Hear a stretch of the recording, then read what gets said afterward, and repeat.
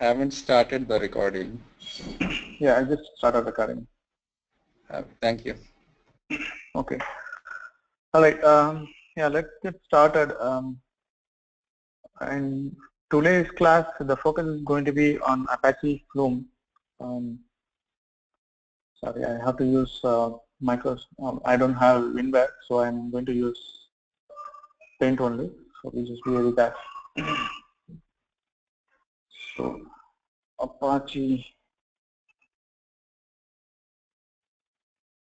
Okay. So before uh, we start with what is Apache Flume. Apache Flume um, comes under big data ingestion layer.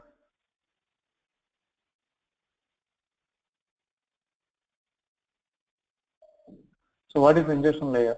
By the way, we have uh, talked about different layers, right? Data source layer, data ingestion layer, data store layer, data processing layer, data output layer, data visualization layer, right?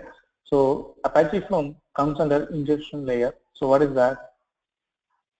and in I mean inputting the data or passing the data to certain place or certain application. Correct. Um, just is something, but you know uh, taking the data from one place and copying to them another place, right? So what is Apache Flume? Apache Flume is a utility tool for transferring the data between systems.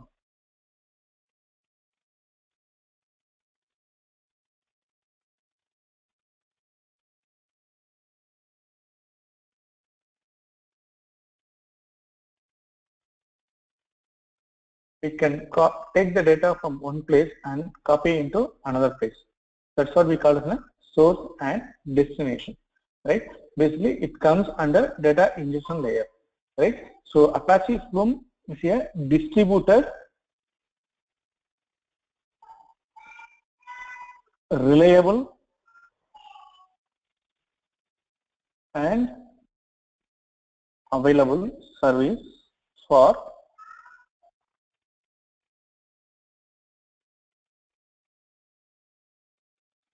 efficiently collecting, aggregating and moving large amounts of log data. Okay. Efficiently collecting from one place and aggregating and moving large amounts of data. Okay, it is uh, similar to Sqoop, but we will uh, talk about the difference between Sqoop and Flume. Okay, where uh, Sqoop is good fit and where is uh, Flume is good fit, right? So as usual, um, Apache Flume is written in Java. Almost most of the big uh, big data components are written in Java. So Java is very very powerful tool. In fact, uh, Sqoop is written in Java. MapReduce, you know, Hadoop itself written in Java, right? And um, first version of Apache Flume was released on July, uh, yeah, July 2012. I don't remember the date exactly. Okay, um, the version number was 1.2.0 something okay and the last and stable version was 1.6.0 and it was released on May 2015 after that uh, we did not get any version from Apache right? That was the last and final version from the Apache Flume. Okay so again um, Apache Flume is a tool for transferring the data between systems. Um, it is uh, distributed, reliable and available service for efficiently collecting, aggregating and moving large amounts of data. So when I say large amounts of data, okay, uh, why do we why do we need to use uh, Flume? We have already talked about Sqoop, right? Why Flume then? Okay. So by the way, what are the options we had in uh, Hadoop to copy the data from uh, external source into HDFS? What are the options we had?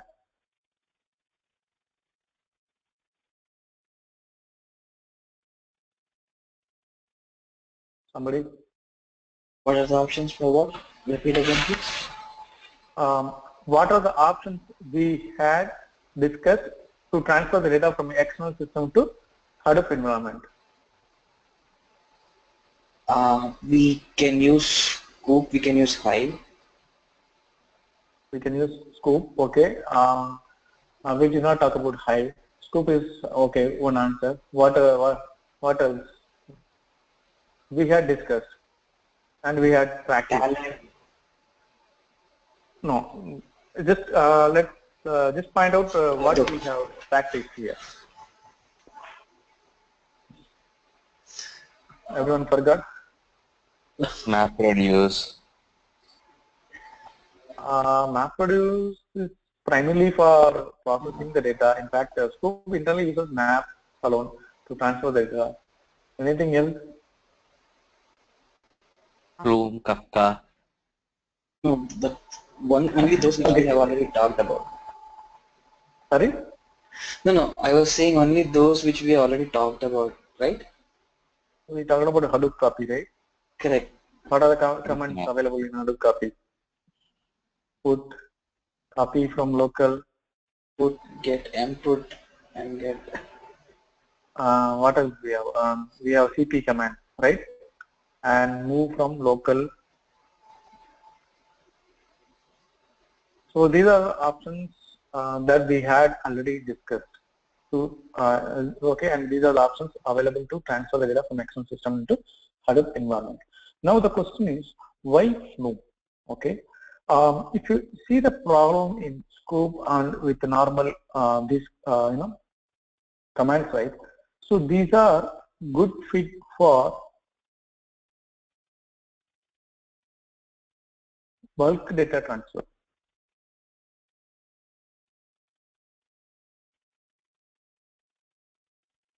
We have uh, we have already discussed uh, two types of processing, right? Anybody remembers types of processing?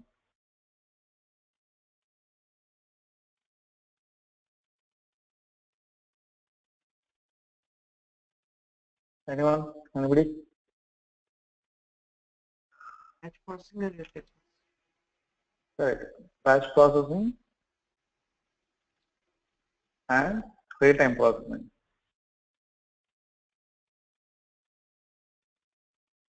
Right. So these are the uh, different type of processing we have, and we have near real-time. Let's not talk about that. Okay. And coming back to these different options that we had already discussed. We had discussed Sqoop, and we have uh, we had discussed you know, uh, how Sqoop transfer uh, the data from the external system into uh, Hadoop environment in detail. We also practiced some Hadoop commands like uh, put commands, copy from local CP, move from local, etc. So these are the various commands which where we are using to copy the data from a local file system or different system to the Hadoop environment. But the problem that we are facing with that command or Sqoop, right?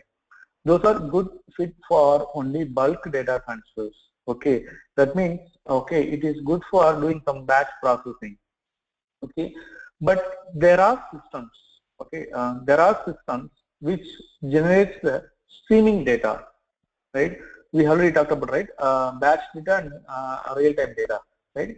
So in batch data, data are accumulated over a period of time, right? And processed as a single unit.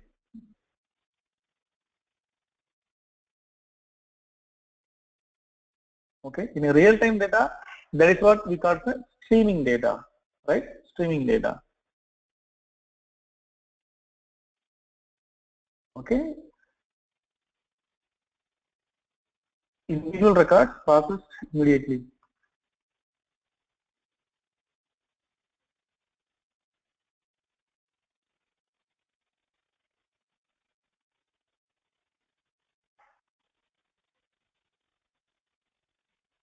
right? Here, the records will not be accumulated, right? Instead, each every record will be processed immediately. That's why we call it a streaming data, right? So we have already discussed, you know, the difference between batch data and I already, we, I, I believe we have uh, discussed the use case for batch data and streaming data. When do we need to go for batch processing and when do we need to go for streaming uh, processing, right? So, um, uh, okay, so these two options are good fit for copying the bulk data, right? But there are systems, okay, um, uh, example like uh, take a web server, web server, right, which will continuously producing the logs, okay, it basically the logs about the operating systems and the logs about the uh, request that is coming from the different uh, you sessions. It can be anything, the events or whatever the actions that is uh, that is occurring in the operating system, right? Okay, so basically web server uh, list out every request made to the server in the log file only, right? So by doing some analysis, we can you know derive some uh, insights from the uh, logs, right? So uh, one example is uh, web server log, which will produce the streaming data. What else? We have a Twitter, right? Twitter will continue to produce the data. What else? Anything? Any anything? Can you think of something which can uh, uh, which can produce the data uh, continuously? Stock exchange. Yeah, exactly. Stock exchange. So these are the places where you know data is getting uh, generated uh, streamingly. Okay. Now you can ask me a question. Okay, uh, what is the point in analyzing these records immediately? Instead, you can tell me that okay, hey, um, I can wait for in a day and do the processing after that, right? Why should I do an analysis immediately, right? Any idea? What is the need for analyzing the data immediately? Why can't I wait for a day or more than a day? The data volume will be huge in streaming data. That's fine. Uh, yeah, okay. Streaming, okay. So But still, you know, we can, uh, even if the volume is really, really huge, we can still accumulate and uh, do the processing data. The real-time analytics is basically used to capture the business uh, from the market. Say like uh, even in if you say uh, in the news channel, if you take any topic, every uh, five seconds it will be capturing the tweeted number of tweets on that topic. So that is Right. nothing but to share uh, information how the people are reacting on a real-time basis on the crisis time. So Correct. Yeah, that is you good example for that. in a batch process, you're losing that period, which will basically you're losing the sensational topic there. Correct. That is one example. To give you another example, let's say uh, you have a web application hosted on different servers. Let's assume that you have hosted your uh, web application in around uh, um, 50 servers. Now, um, to you know detect fraud, uh, you know, something like uh, say for example, uh, some people are trying to hack your site. Okay, how do you come to know? um, if you you know if you come to know about some unusual activity uh, you know then you can easily you know figure out okay what is happening or some let's say some people are trying to bring down your site um, yeah as you know right um, say for example uh, if you take a .NET server you know IA server uh, which is capable of handling 10,000 requests per uh, second okay if we receive anything beyond 10,000 requests, right, then you'll get a service unavailable, right? Remember the IRCTC and all, like remember in earliest days, we used to get the service un uh, unavailable whenever we try to book the ticket. This is because of huge traffic to the site, okay?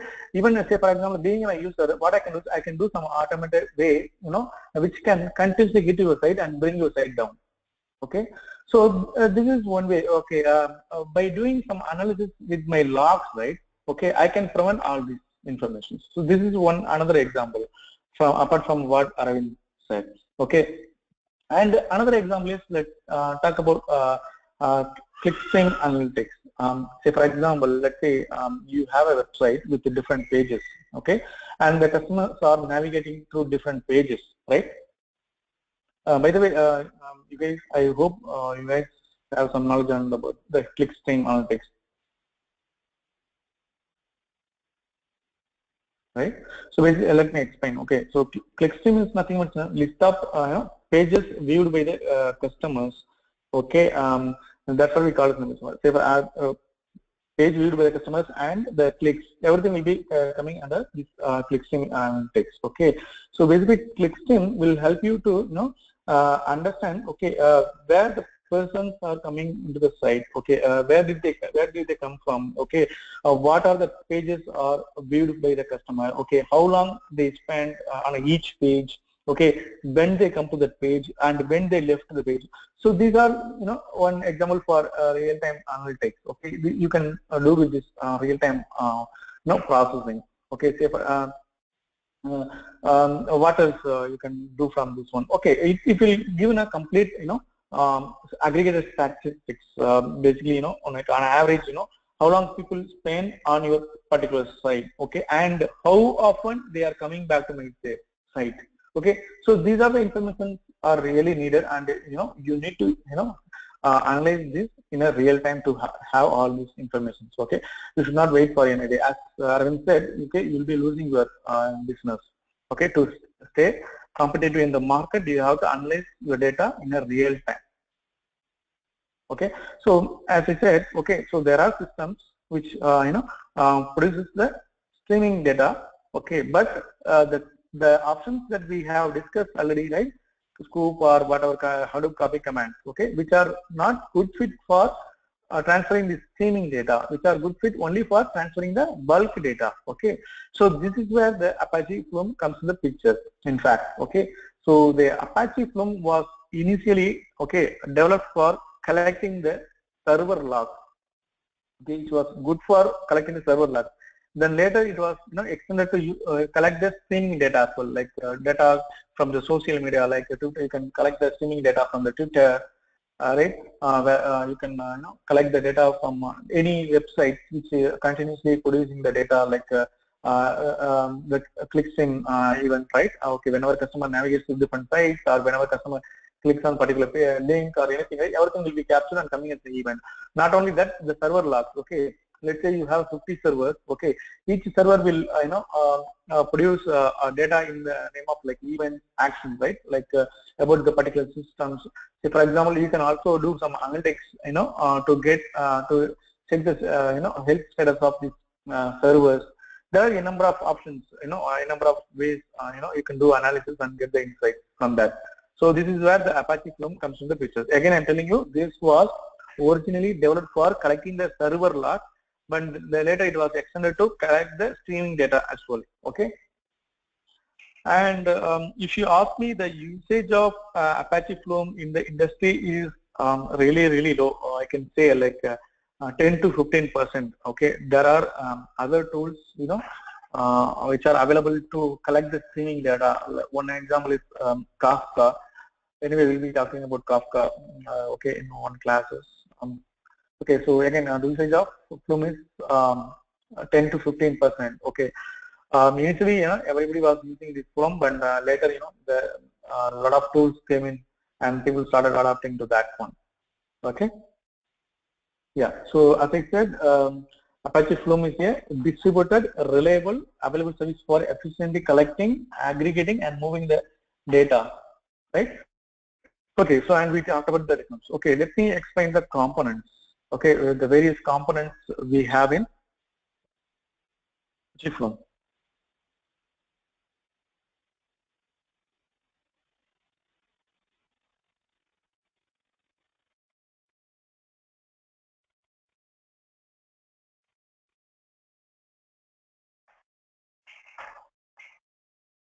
Just a minute.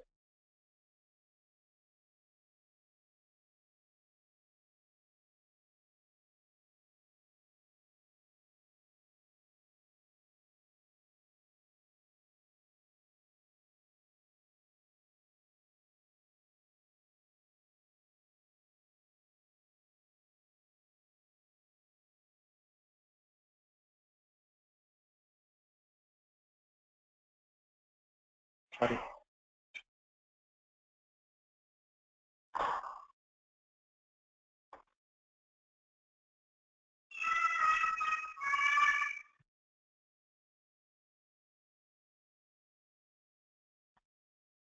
Okay, so yeah, so let's talk about the various uh, components available in um, Apache Flume, uh, which is responsible for transferring the data from one uh, system to another systems. Okay, so uh, as I said, right? Um, okay, uh, let- um, let me put it this way. So these are the components. Agent. We have source. We have channel. We have all this together.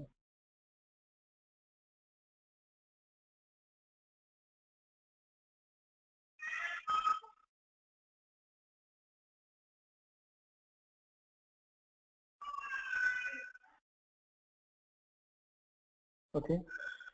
Okay. So what is agent? Basically, agent is an um, individual daemon process in a Flume. Okay. Basically, it receives the data from one place and copy it into the another page Okay. It's an individual, basically independent daemon.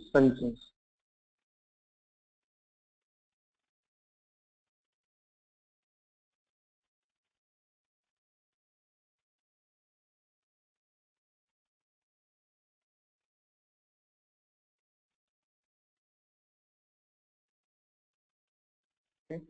So apart from agent, we have source, channel, and sink. All together represents this agent. Okay, so this agent is running in an individual JVM. Okay, which is responsible for receiving the data from one end and copying into the another end.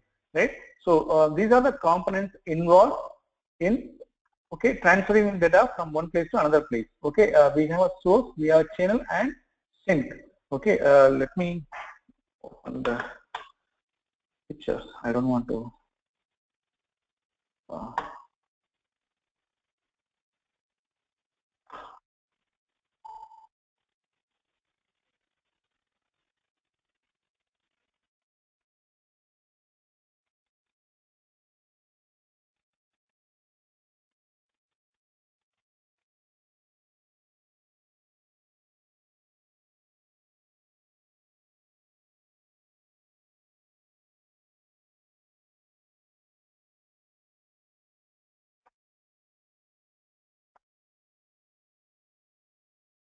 Yeah. So yeah. So uh, these are the components that we have. Okay. Here, let me start with the event. Event is nothing but an individual record. Okay, that is flowing uh, through these systems. Okay, through this component. Okay, it is the individual record which is going uh, going through all these components. Okay, agent is an individual daemon which is responsible for receiving the data from one end and copying to another end. Okay. Next, we have source.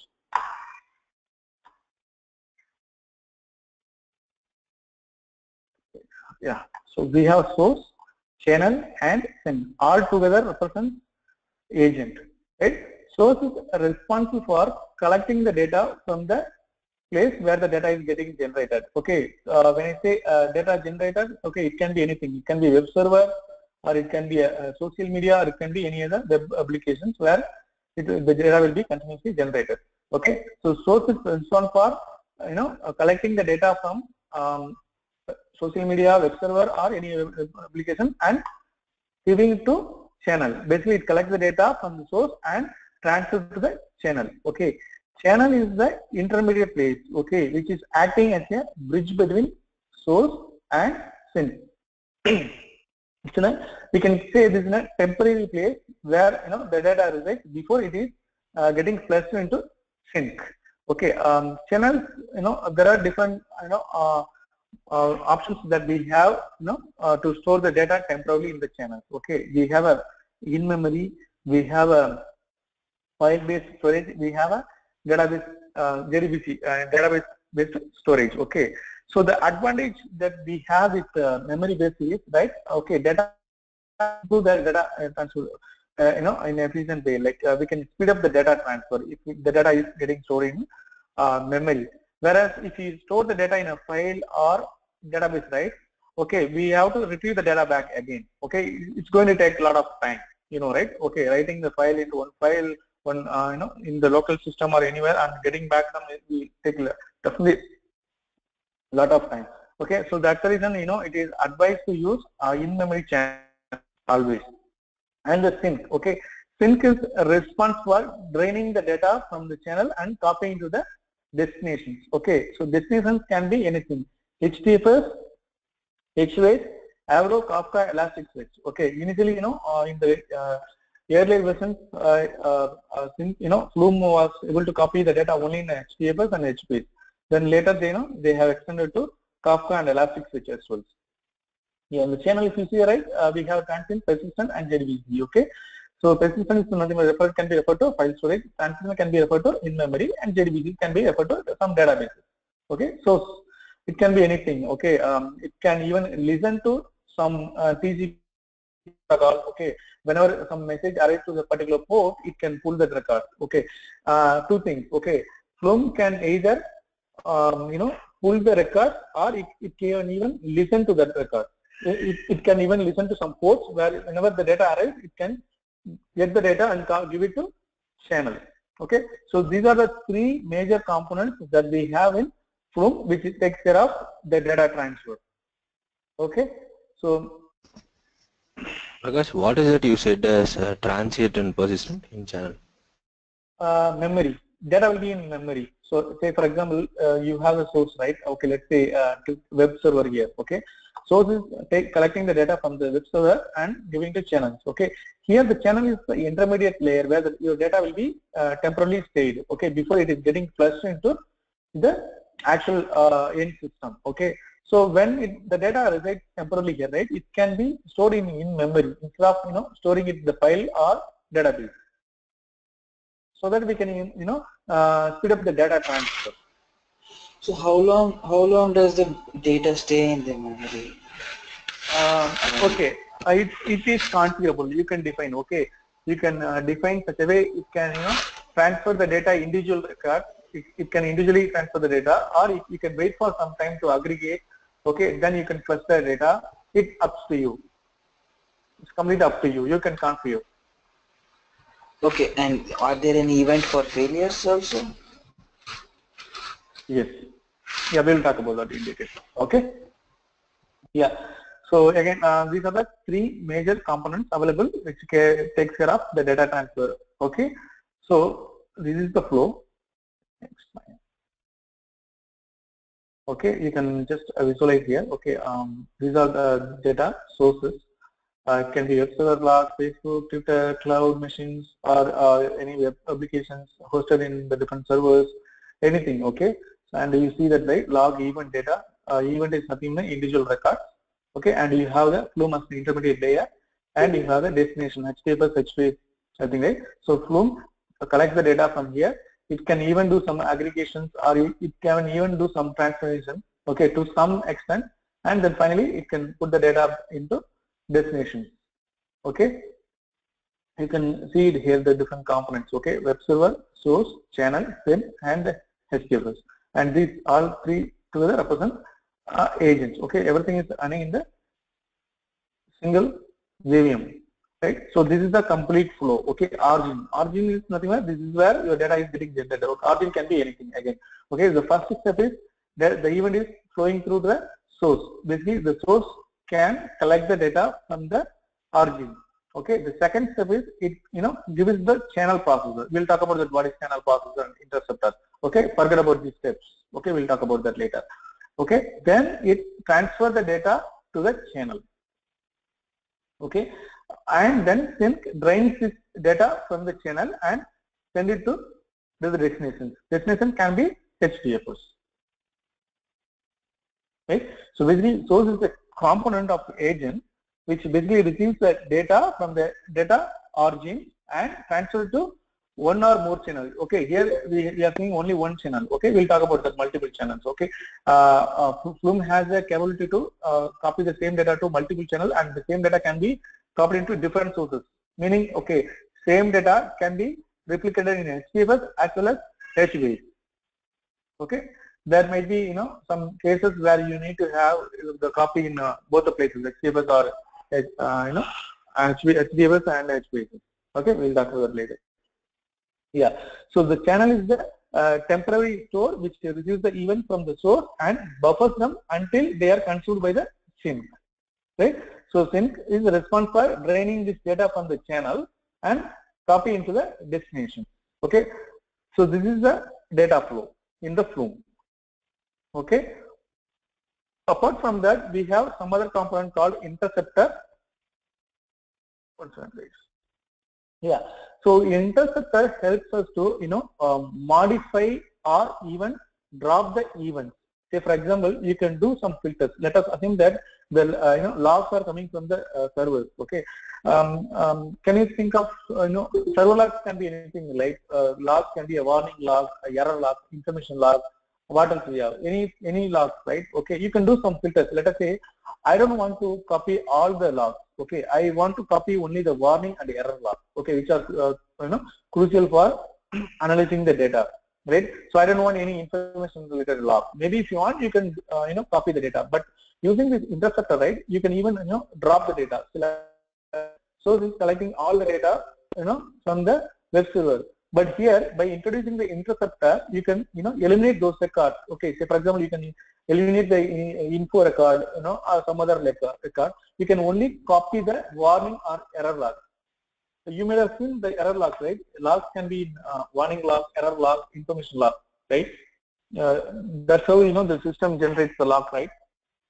Okay, so you can you know using the interceptor, you can even or if you, using the interceptor, you can even you know add some headers like you can add a, a timestamp or you can add uh, some host name. Any information you want, you can add it. Okay, so that is where you know the interceptor comes to the pictures. Next thing is channel selector. Okay uh, source can copy the data to uh, one or more channels. Okay, um, we have different types in fact. Yeah. Channel selector. Okay, in channel selector we have different types, uh, replicating and multiplexing. Okay, so uh, in, uh, under replicating, you know, you can have more than one channel and each channel will receive the same data. Um, good example is, let's say, I want to copy the same data into HDFS and HB. Okay, in the case we can you know go for replicating. Okay, um, let me put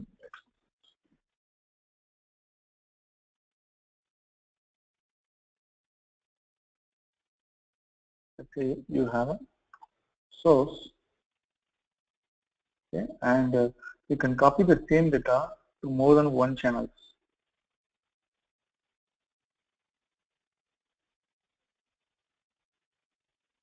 So the need for copying the same data to more than one channel is you can replicate the data into multiple places, okay, and you can have sink for each channel.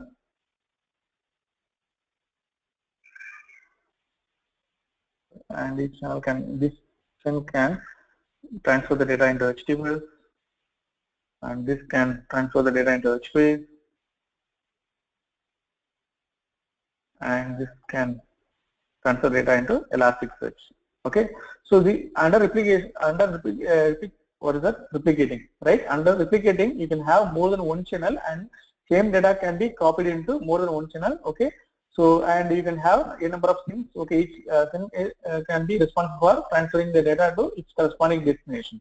Okay, so what is multiplexing? Okay, multiplexing is nothing but you know uh, based on the information, based on the event, you can you know uh, uh, you know choose uh, which channel has to receive that particular data. Say for example, um, let us say um, um, let's uh, talk about the same logs. Okay, we have an info log, warning log, and error log, right?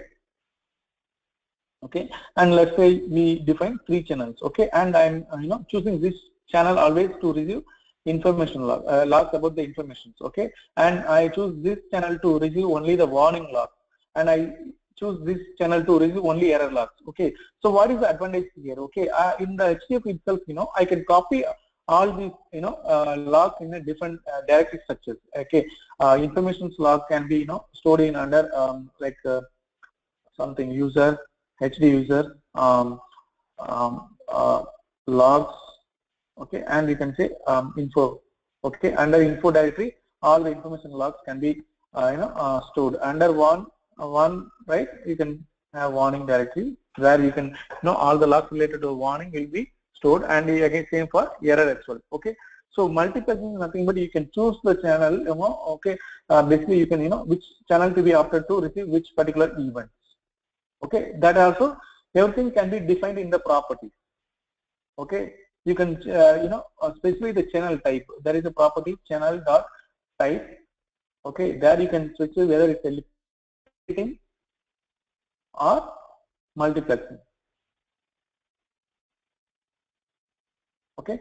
So this is the different type of you know uh, channels that we have in this room. Okay? Next sink processor. Okay um, what is the sink processor? See here we um, um, okay uh, basically sink group allows the user to you know uh, know, uh, create a group where you know multiple sinks can be you know uh, treated as a single entity. Say for example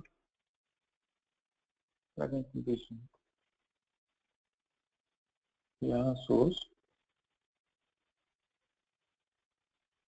And channel. And we can create you know processor. Um, we have a different type of sink processor okay? Default sink processor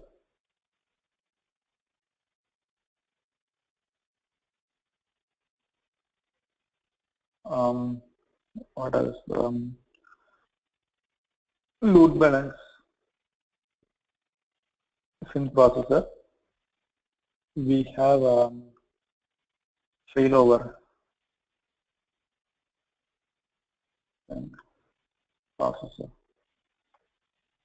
Okay. So default single process is nothing but you know at any point of time we can have only one sink at a time okay? You cannot have more than one sink okay? So that's what uh, default sink processor okay? Uh, basically to remove the you know single uh, failure of single point of uh, you know this uh, default uh, sink processor you know Flume has introduced you know load balancer and failover sink over okay? So what is that? A load balance and failover sink process okay? Here you can have multiple sink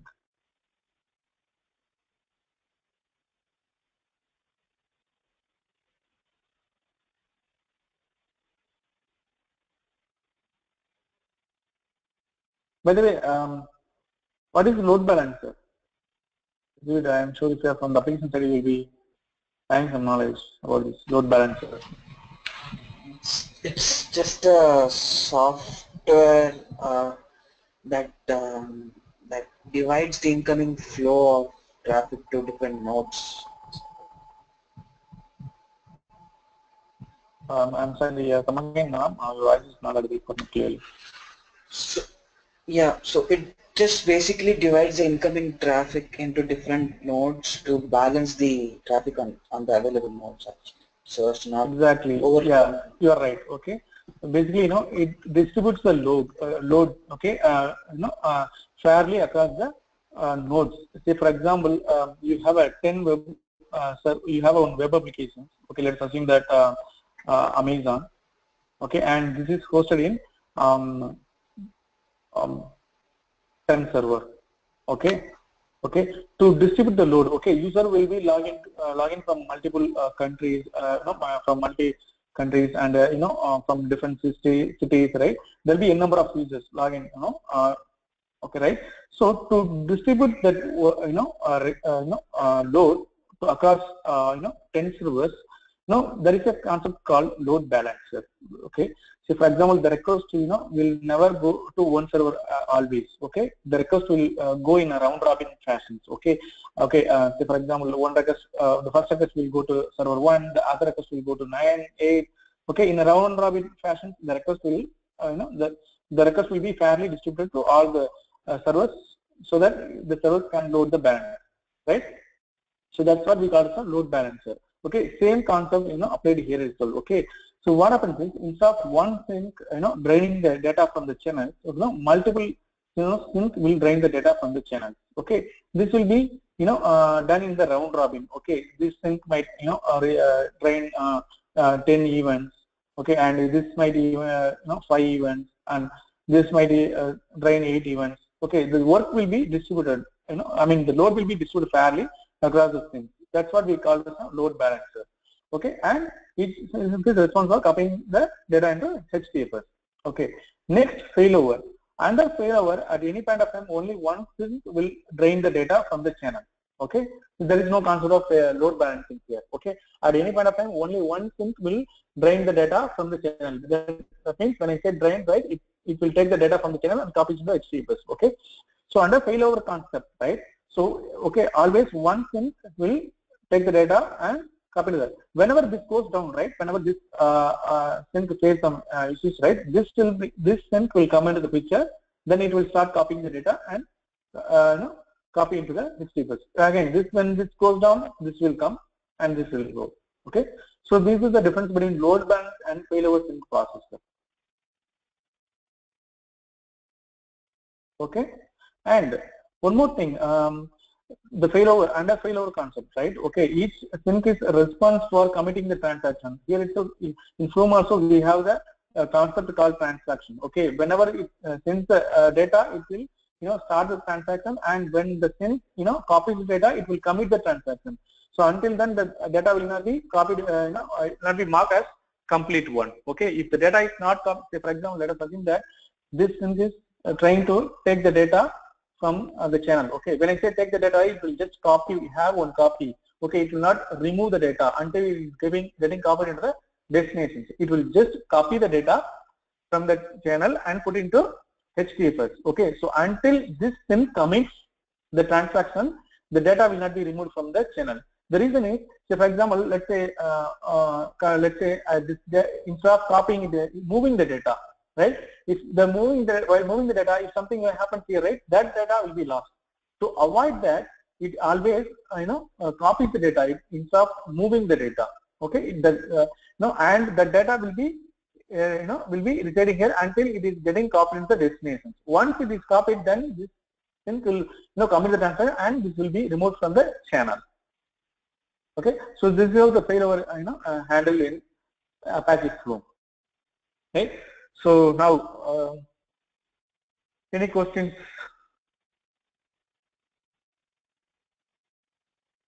If you don't have any questions, uh, then we'll uh, talk about the different, uh, you know, flows that we have in. Uh, Just to confirm one thing, can you go back to the previous uh, slide there? Yeah. This one, you said um, when the there is a load balancer, uh, I mean at the channel side, correct? Okay. Hello. Sorry, sorry, I was uh, talking on mute. Okay. Um, it uh, Okay. uh, load balancer at the sync level, not at the channel level. At this, uh, right, at the sink level. So when the data flows into the sink, it accumulates there, um, and then when it sends the data to HDFS, it, it delinks from the channel. Is that what I assume, assume you said? Uh, I'm sorry. Um, um, one second. Come again. No, I mean the, when when the data flows through the to, to the sink, it transfers the data to the HDFS and then delinks itself from the channel. Is that right? Right. No, but but the connection has to be continuous, right? For the data to flow in, if, if it's a real-time data, it has to be a continuous connection, correct?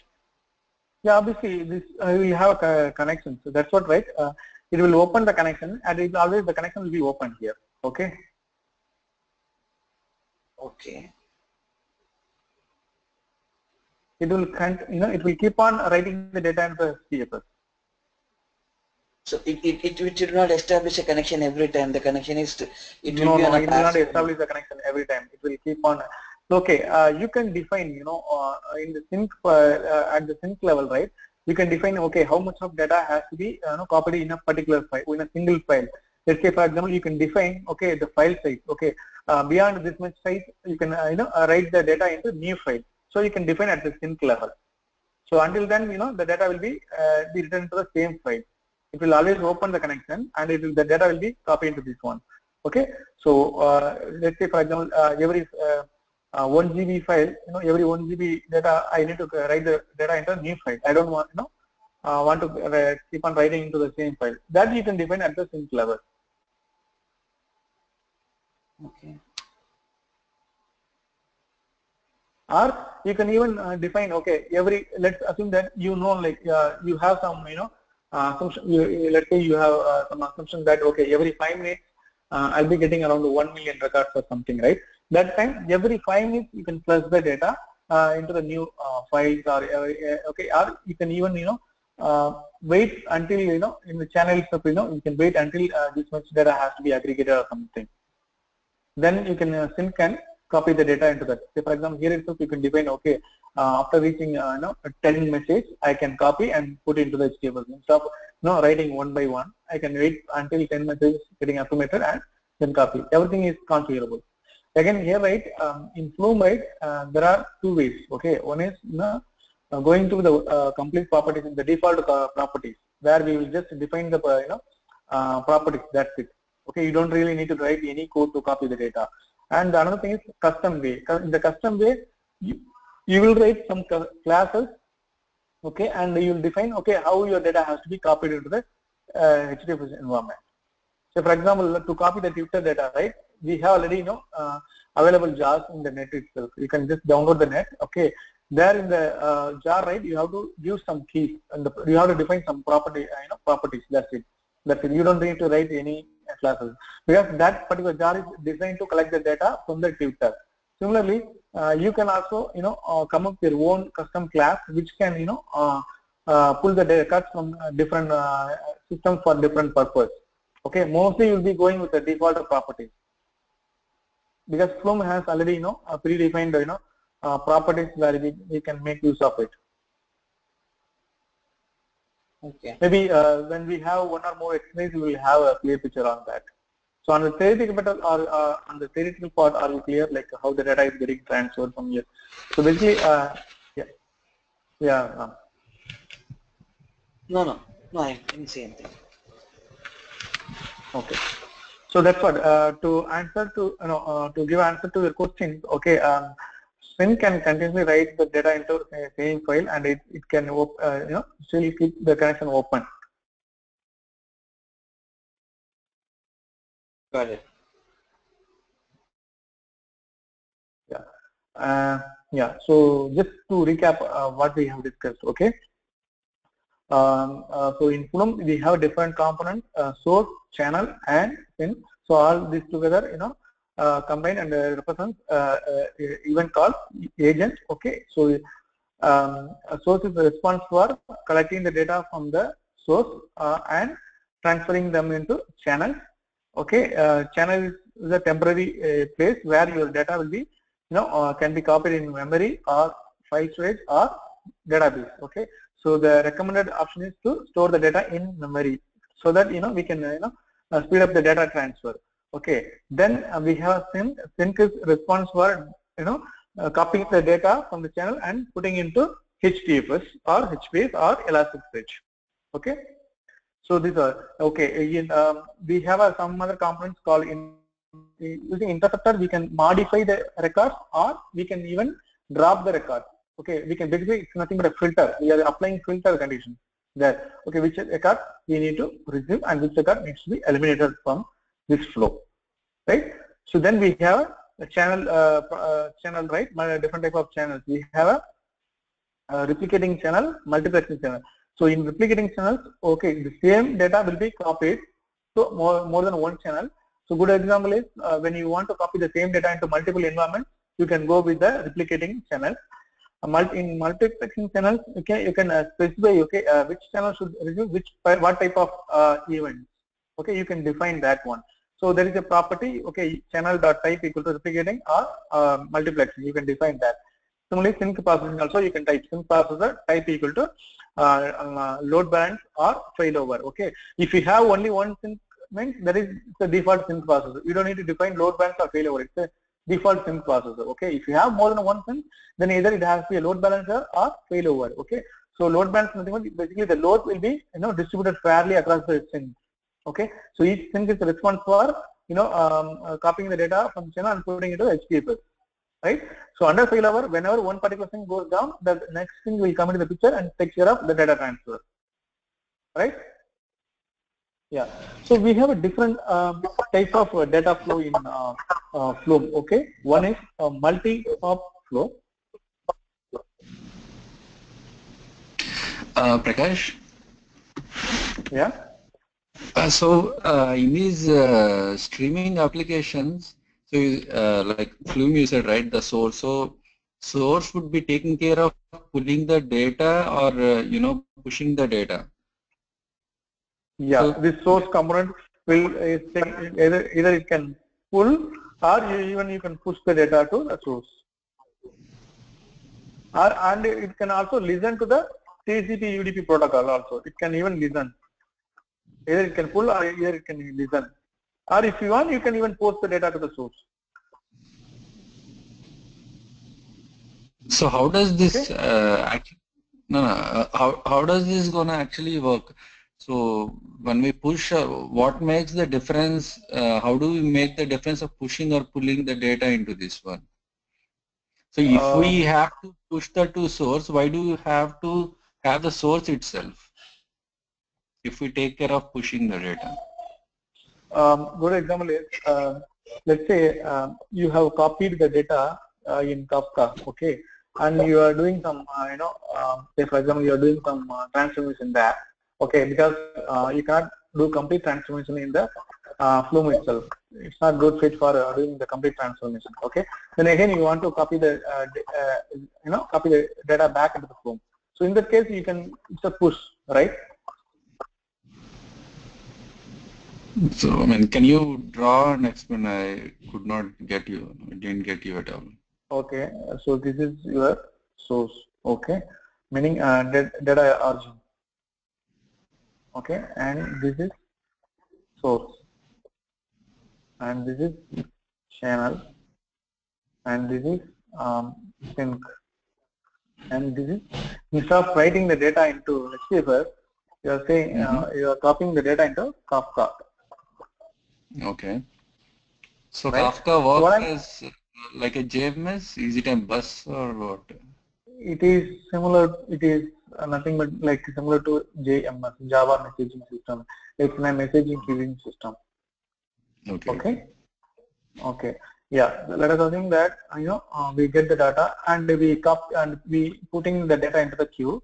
And from here, okay, you are doing some transformations using some applications, Mm-hmm. right? Okay. Then let's say uh, you want to push the data back into any environment. Okay. There again you can introduce the Flume to push the data back into that one. Okay. In that cases, right, you are pushing the data to the Flume. So now, And- uh, so what? Yeah. So what will be the source now in this case, in the later part? here the, the source part will be can you know you can even push the data from Kafka to Flume itself directly. You can even Okay, so push the the data from Kafka to Flume also. Or you can have any uh, again the, uh, uh, the source can be uh, uh, Kafka itself. Let's say you have some uh, you know some uh, Storm or some other processing engine Spark or you take the data from the Kafka and processing and putting back into the Kafka itself. Okay, instead of copying into the destination there there may be a cases you know uh, we can uh, we can uh, you know come up with the, maybe I can give uh, some real time example where you need to copy the data back into the Kafka itself. Okay. So uh, and you said right, we after processing we you we can put back that data onto the Kafka. So how do we differentiate between the I mean like so the later processed data should be read you know should be placed or should be moved to some other destination right? So in that case how how do we So this is one part. Okay. This is one Yes, part. yes. Okay. This will run. Okay. Similarly, you have to define another processor to Yes. get the data from the Kafka and copy into the HDFS. Yes, Same yes. cannot So you know pull the data. This it has to be a separate process and this has to be a separate process. And also you have a you know um, uh, option to you know copy the data from one agent to another agent. Meaning, so this represents from here you can copy into another agent that can do something else. Okay. So data can flow through multiple agents as well. So that's what I talked about. Uh, I was about to talk. Okay, Flume data flow. We have a multi-hop flow. Okay, so within Flume, right? So there can be n number of uh, you know agents. Okay, so before reaching the data, uh, before the data reaching the final destination, right? So that data can travel through more than one agent. This is one agent. You can define one more agent. okay and the input to this agent will be from the another agent okay you can have another agent if you want and then you can copy the data in the final destinations that is comes under multi let me explain.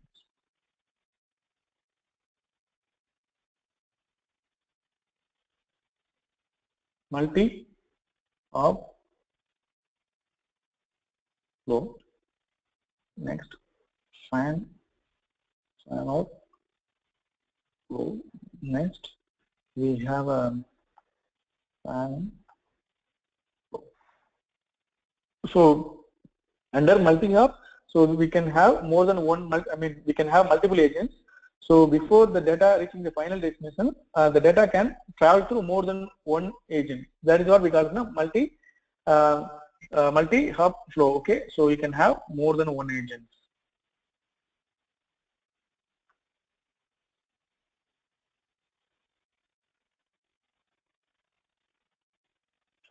in fan out fan flow okay uh, so the data flow will happen like from one source to multiple channel. Remember we talked about multiple channel right? Okay um, one source to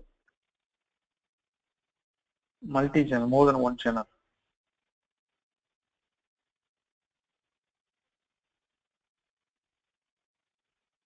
One channel okay?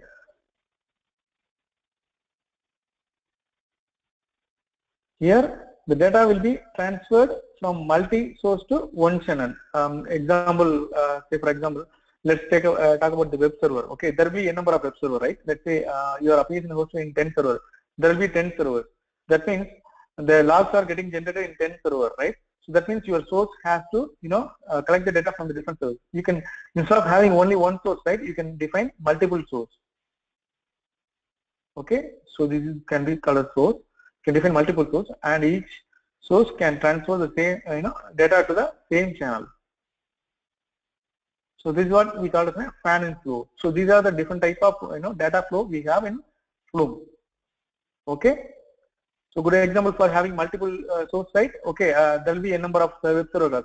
So each uh, source is responsible for collecting the data from different servers here. So this source is responsible for getting the data from this particular one, server 1, 2, 3, 4 and respectively. Okay, you can collect the data from different server and copy into the same channel. So this is what we call as a fan flow. Under fan flow, you will have one source and more than one channel. Still you can, you know, can have more than one channel from here, uh, depends. Okay, so for example, we talked about, right, you can have an interceptor.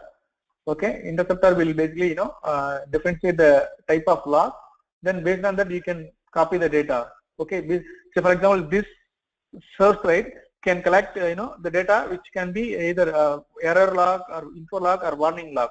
Okay so then, then we introduce interceptor which will intercept the data and uh, copy into the, uh, the respective channels you can have in the same uh, in one agent you can have multiple source multiple channel and multiple things or you can either depends depends on the requirement you can go with that Okay.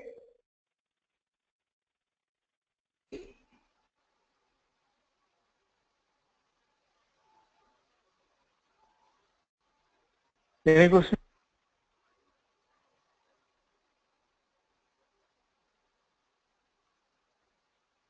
Can you explain example for the multi-hop flow? Sorry? Multi-hop flow. Yeah. How? So in multi-hop flow, right? Um, basically, you can you know uh, define more than one agent.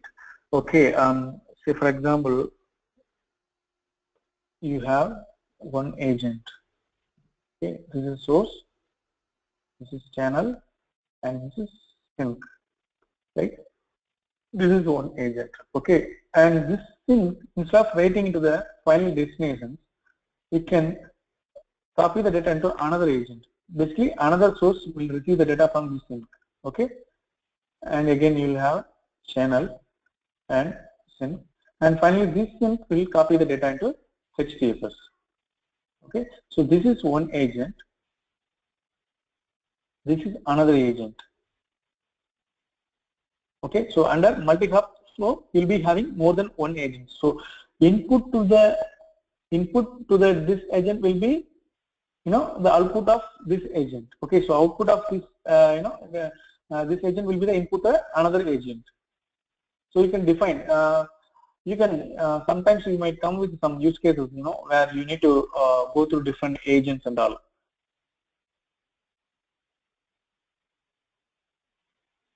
Okay. Any other questions on the topics that we have discussed so far? Yeah, Flume is uh, pretty much easy and straightforward. We don't have much to talk about it, uh, in fact. Okay, um, very straightforward.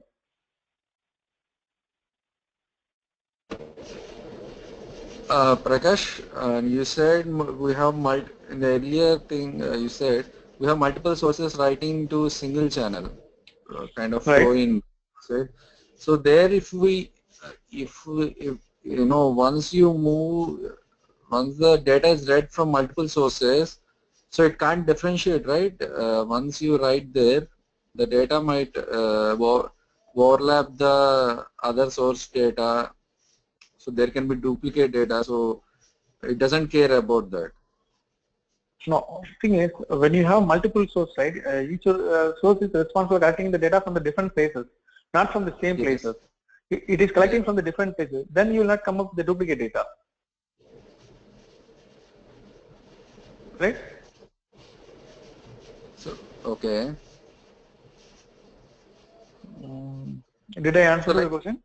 I mean uh, so you say you say uh, the the one of the three sources uh, you know as in um, so one source is for logs so sorry one for is for info and then the other is for warning and for uh, No, for I, I did not say like that. I did not no, say no, like I, that. I meant I just I, I'm just quoting the example Okay, let's assume that this is one web server log, this is one web server log, and this is one web server log. Okay, so this server can produce any type of log. It can be an info log, warning log, error log. Okay, it can produce, you know, uh, okay, any log. Okay, and I am I have configured more than one source. Okay, each source is a response for collecting the data from different server. Okay, so this source will take collect the data from here. So this source can collect, you know, data. It can be info, error, and warning. Right? Similarly, right? So here what I'm doing is I'm introducing an interceptor. Okay, so this will, you know, uh, in, it, this will read the data basically and it will check what type of data it is. Okay, whether it's information data or error log or warning log. Okay, if it is error log, then it will route to this channel. Okay, this channel is, know, let's say I have configured this channel to receive only uh, info log and this channel and this channel. Okay, so data will be accumulated here. Okay, and based on this, you know, it will be routed. Based on this log type, it will be routed here. Okay, so uh, that's I what don't so one- understand the duplicate uh, things that you are talking I- about here. I, I doesn't mean that way. I mean, so one, I meant, so once the data leaves the source, so they don't refer uh, to the, I mean, they can, you know, they don't uh, belong to the, you can't differentiate between uh, the data, right, where it has come from. So, like say when you're writing to a file from the t- three different sources, say it has wrote, uh, you know, You can uh, write, know, you can write, uh, you can you can differentiate. That's why you know you can. Said right. You can even uh, interpret the uh, data and do that, or you can even modify the data. Okay, you can add some header info. You can add a host name. Okay, uh, okay, from where the particular data came from. Okay, when this source transfer right, it will you know you can add the host name. It will immediately add the you know this server host name. You can even add that. That's what I told you. Interpreter can modify or even drop the event. It's up to you. okay. You can customize. You can add some other uh, information, like you can add the timestamp.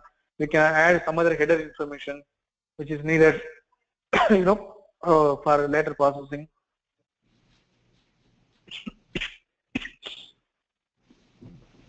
Okay. Yeah. So uh, using interceptor, you can do everything. You can, you know, uh, add the host name, where the data is coming from, anything that you can define. That's why I clearly told. Okay, interceptor can be used to alter the message or drop the message. And and one more thing, so the buffering level, uh, do we have to define at the uh, sink level? uh, so like say you said right Buff, Uh, buffering channel we have to define. Okay, basically we will uh, define uh, source, channel, and sink. Okay, we have to specify what type, what type of source it is. Okay, whether it's a netcat or something I don't remember. Okay, uh, uh, basically you know you have to define that uh, source. Okay, type. Then you have to define the channel type. Okay, whether it's a memory channel type or file uh, file channel type or uh, you know uh, database related channel type. Again, the sink also you have to define what kind of sink it is. It's a HDFS sink, HBase sink, or Elasticsearch sink. Okay, where, basically where the data is getting copied. That's what you are defining there in the sink. And also you'll be you're switching in the processor as well, like uh, what type of processor. Okay, it's a load balancing processor or it's a failover sink processor or if you have only one sink, then it's a default sink processor. Yeah, I agree. Uh, I mean, uh, you said right. Uh, so when you, when the sink wants to write to an append and you know content until the you know the file reaches to the so to some- to some extent, and then it Mhm. can uh, open a new file and then write to a new file. So how do Right. where do we define these uh, parameters? Yeah, in the sink, in the sink properties, we have to define that. In the sink properties, we, uh, you know, we have to define, okay, how many records has to be written in the same file or, you know, eh, uh, you can even go with a, a time-based, you know, that you can define in the sink properties. So in that case, so uh, if we say uh, we want to, I want to uh, write content until the file reaches say 1 GB. So the, does the content reside until 1 GB at the sink, or it keeps writing to the file and then? It keeps, it the keeps writing to the end system. It keeps writing to the end system. Mhm. So once it reaches, then it opens in uh, new in file to It will not write. open, the file will be open always, like it will keep on writing to that one actually. No, no. Once once Is it uh, reaches that uh, limit. Yeah, once it reaches its threshold size, then it will close the file and it will, you know, try to create a new file. Then we have, we can define, okay, how the name has to be, you know, you can basically go with the date or time. Even say, for example, I want to copy all the data uh, in a one file for a particular day. Then you can go with uh, file name with a time uh, date based, or you can even one hour based, timestamp based. Everything you can go. Okay.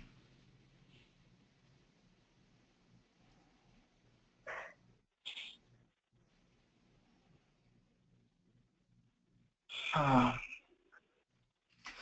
And how how does this uh, differ? I mean, vary from the Storm? We have those other streaming applications, right? How does actually Flume vary from Storm? See, uh, Storm is a processing part. Okay, uh, Flume is uh, that's why I clearly told. Flume is uh, part of data ingestion. Storm is uh, you know different, completely different from uh, Flume. Storm comes under data processing layer. But for the real real time. Correct, correct. Okay. But see, there are some limitations with the Flume. In fact, okay, uh, I will talk about these limitations when I talk about you know uh, Kafka. The same way we talked about Sqoop, right? Okay, uh, so Sqoop is I told Sqoop is idea good fit for some places. Okay, then I uh, explained okay where Sqoop cannot be a you know uh, cannot be ideal one to copy the data, right? So so when I talk about the Flume, right, I told okay where the similarly I will we will talk about the uh, you know Flume limitations where it cannot be used. Okay.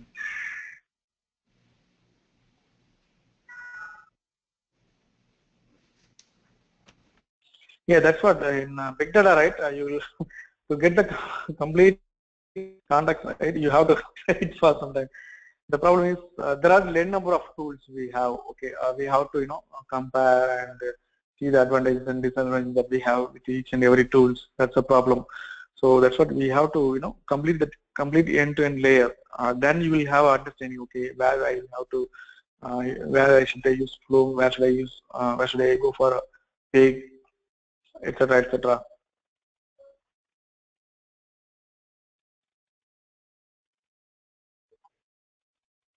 okay. Yeah this is yeah you asked right? Like since process the type. This is a this is a property. We'll say like load balance or failover load underscore balance something similar to this one. Okay so yeah so that's it with the flow any other questions? One second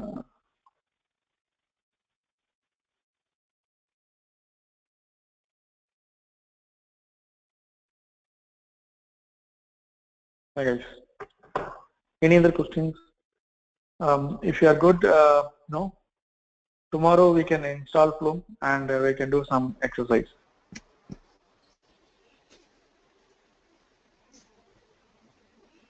Uh, Prakash, if this is done, can we just sit for five ten minutes and sort that uh,